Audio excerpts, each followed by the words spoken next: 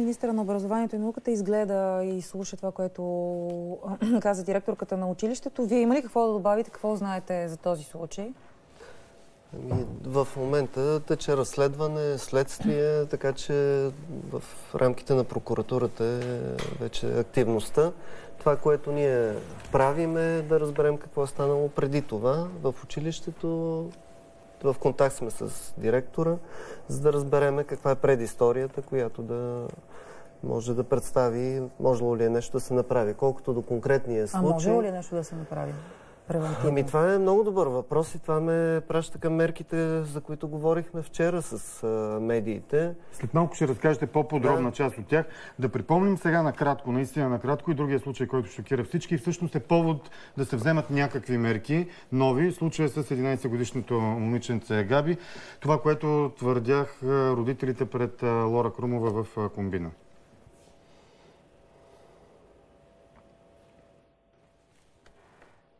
Тя беше росната на земята, пустиняваща и обръщаше очите.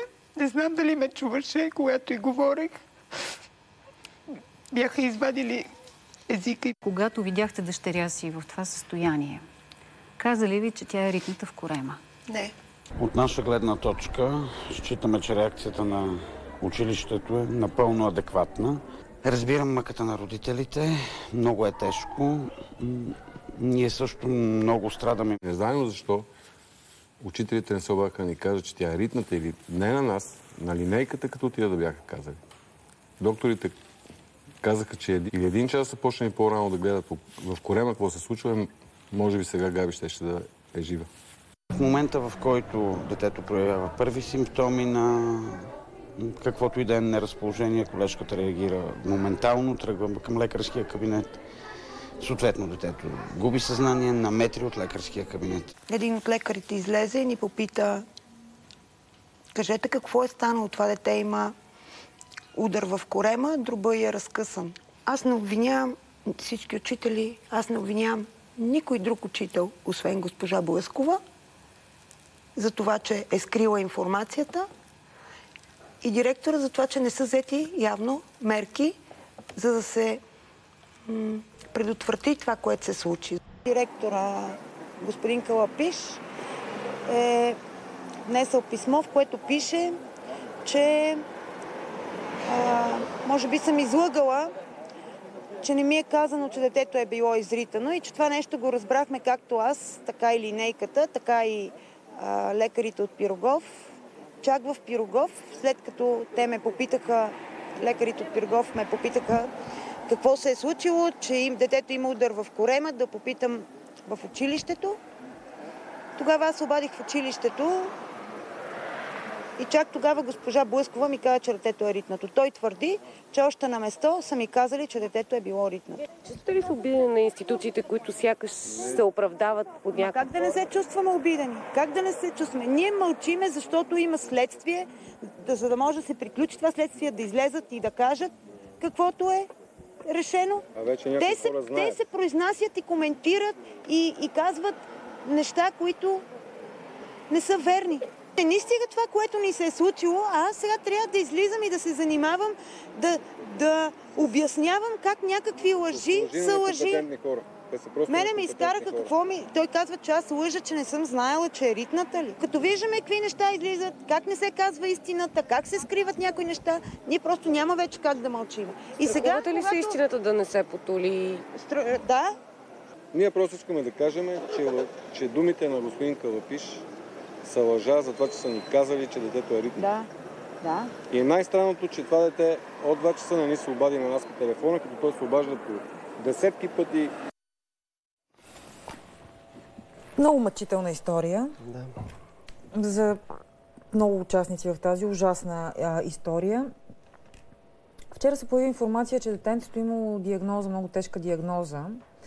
И едва ли не внушението е, че той е починал заради тази диагноза, имал рак, а не от а, ритника в а, корема. Или тумор е имал, не знам. Той може да е доброкачествено заболяване. Ритника не е ли нещо, за което е ясно и за Министерството, че е причина за трагедията? Значи, както беше казано, това, което трябва да излезе на Еве е истината. В момента този казус е в прокуратурата, тече разследване, следователи. Единствените, които имат право да кажат каква е истината, това са разследващите, след като завърши разследването.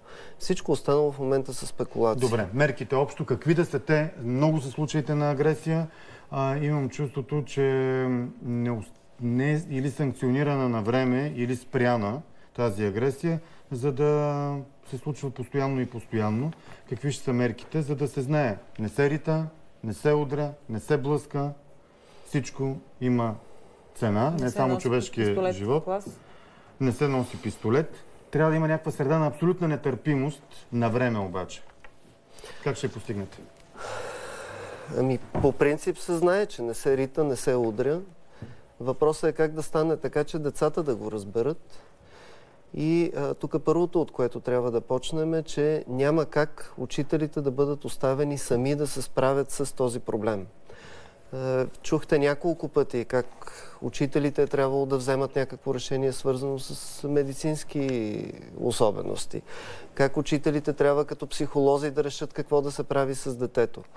Един от най-големите проблеми днес е, че учителите са натоварени с всички тези функции, без да получават достатъчно помощ. И когато стане инцидента, тогава вече се появяват следствие, прокуратура и някой, който почва да обвинява учителите. Това, което а, искам да кажа ясно е, че вчера обсъждането не беше как се действа след инциденти, защото е ясно как се действа след инциденти, а какво можем да направим днес, до края на годината, през следващата година, за да предотвратим, доколкото е възможно, такива случаи. Добре, хайде да бъдем конкретни. Ученик рита друг ученик. Няма а, в клас, в корема или където и да е. Няма пострадал, няма бърза помощ, няма убит. Какво следва? Ей сега, значи... след малко момче, рита друго момче в корема. Какво се прави? Аз бих почнал от там. Как да стигнем до там, че да няма дете ритнато в корема? Когато има съдействие от родителите, тогава проблема е много малък или го няма изобщо. Най-големите проблеми са когато няма съдействие от родителите. Може да са редки, но такива случаи има. И това е казуса, който в момента няма лесно решение. Това, което сме предложили са няколко мерки. Първото е да се промени наредбата за приобщаващо образование, в която родителите в момента са поставени като на равна нога, когато става дума за обсъждане на поведението на учениците в училище. Това не може да бъде по този начин. Те трябва да участват в обсъжданията, имат право на информация, имат право на мнение, но решението дали да има наказание, какво да бъде наказанието, то принадлежи на педагогическия колектив на учителите. Разбира се, трябва да има процедура, но никой не може да се мисли, че ако учителите смятат, че това дете трябва да бъде наказано, защото е направило еди какви си провинения, родителя има право да спре Сега, това така наказание. Аз не знам в момента как, как, Ми в момента има едно такова тълкование. Учителите се чувстват притиснати от родителите. Това нещо трябва да престане. Затова ще бъде променена да. наредбата, която беше прията през месец ноември миналата година, така, че да стане ясно, че водещи в този процес са учителите в училище. Дайте пример. Пример за какво? Ами за действие, за реакция. Не, не разбирам. Водещи ще са учителите. И това означава, случва че когато случва учителите... Се това, което се случва. Така. Ритник, аз пак давам пример. Агресия в училище обикновено. Тогава при такова проявление се разбира, че има някакъв проблем. Той сигурно има своята хронология да. по-рано. Семейство, може и да е, да, е, да е опит да види докъде е позволено на едно дете да е агресор. Така, какво, какво ще как, прави? Какво може да направи учителя? Това, което трябва да направи учителя... Ако е станал свидетел на, на случката, ако е сигурен, че тя се е случила... Да. Това, което трябва да направи учителя, да се обади на психолог или през комисия, която има в училище направена, която включва психолог, който може да работи вътре в училището, но може да бъде от външна институция, като Агенцията за социално подпомагане, с който да се съберат и да обсъдят заедно какъв е точно случая, какъв е проблема с това дете и какво трябва да се направи с него. Това е решение, което не трябва да взема учителя, защото той изисква друг тип компетенции. От психолог, който познава психиката на децата, може да идентифицира дали проблема е в семейството, дали проблема е защото детето е хиперактивно, дали има нужда от детски психиатър, защото понякога има нужда от, и от това И това решение не трябва да бъде оставено на един учител, който в това време трябва да учи другите А деца. така ли е по принцип? Днес Той така ли е? В момента тази система не работи. Оставени са учителите да вземат решение и когато стане нещо, както и в конкретния случай, се отива и се казва, "Ма учителя защо не ми се обади. Не може учителя да бъде виновен за всичко в училище. Но трябва да се обади, ако стане свидетел в клас или в междучастие на насилие, да извика психолог. Значи това става автоматично задължение. Ако Това не трябва да стане автоматична система, която да праща детето към компетентна група Веднага от, психолог. от Друго? човека. Един от тях е Който психолога. вече да говори с родителите. който да реши какъв е конкретният проблем, да говори с родителите, да им обясни, че ако не се вземат мерки веднага или трябва да се направи това, това и това, и ако родителите не съдействат, този случай може да се изроди в нещо много по- по-сериозно. Този механизъм в момента не работи. Това е механизъм, който може да ни предпази от следващия инцидент. Но в момента той не работи. А, Друго? Друго, друго Така, видях, че другото е, ако контакт стане- с болници а, Точно така. сте осигурили Другото е, когато няма. стане някакъв медицински инцидент, в момента системата се базира на една наредба от 2006 година, която е правена във времена, в които се очаква, че във всяко училище има медицинска сестра или някак лекар или някакво друго медицинско лице.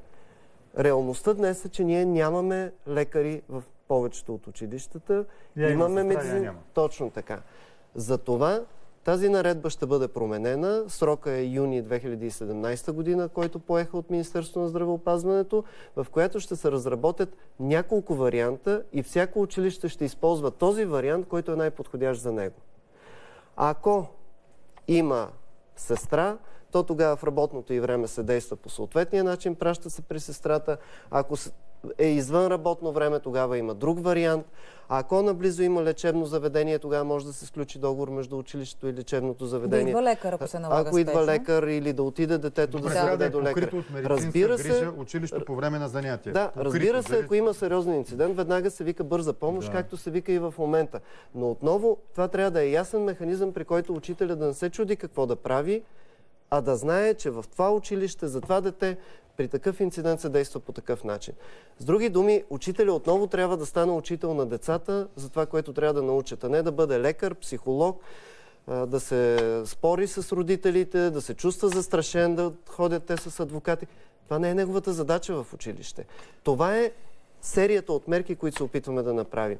Част от тях са свързани с подаване на информация за добри практики, които се оказа, че ги има в Държавната агенция за закрила на детето, в Агенцията за социално подпомагане, но те не са стигнали до родителите. Как до учителите, извинявайте. Как, примерно, се говори с родител, който не ви съдейства?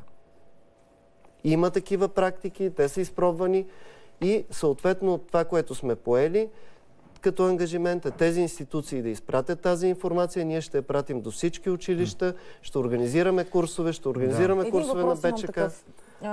виждам, задвижили сте и колеги от Министерството на здравеопазването, само че юни месец очаква да имат друг кабинет, оглавен от ГЕРБ най-вероятно. Каква е гаранцията, че те ще поемат щафетата и ще довършат това, което... Ами за мен гаранцията е тази, че проблема е толкова сериозен непрекъснато ще изникват такива случаи, че има обществена нетърпимост, има чувствителност и от медиите, и от родителите, така че който и да е на горещите столове на министър на... ще трябва да действа. Това, което правим ние, да помогнем в този процес, да покажем кои са най-належащите мерки и да почне да се действа. Между другото, това е много интересен коментар. Аз бях много очуден.